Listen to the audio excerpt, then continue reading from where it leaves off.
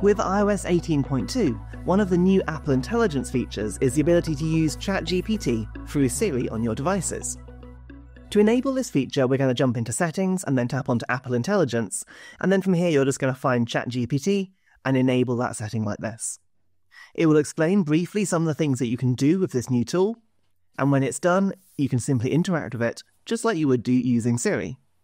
So, for example, ask ChatGPT to tell me about St Michael's Mount in Cornwall.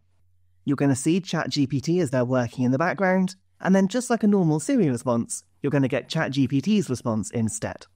You'll see it's a lot more detailed, there's a lot more information here available, and I'm pretty sure if I didn't have this turned on and I asked Siri the same question, it would probably just say, here's some results we found on the web, which aren't really so useful for me.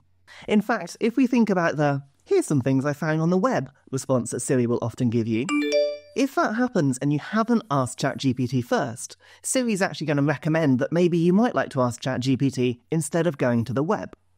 For example, I'll long press to activate Siri. Who built St Michael's Mount in Cornwall? Here you can see it's actually given me the option to use ChatGPT, and tapping on there will then give me far more information than I would have got if I'd just used the web normally. I haven't got to browse different websites, I haven't got to click through things. ChatGPT gives me that carefully curated AI summary of information just there, as if it were a normal Siri response. This really makes Siri feel smarter, and it does mean you can get information quicker just by talking to your device.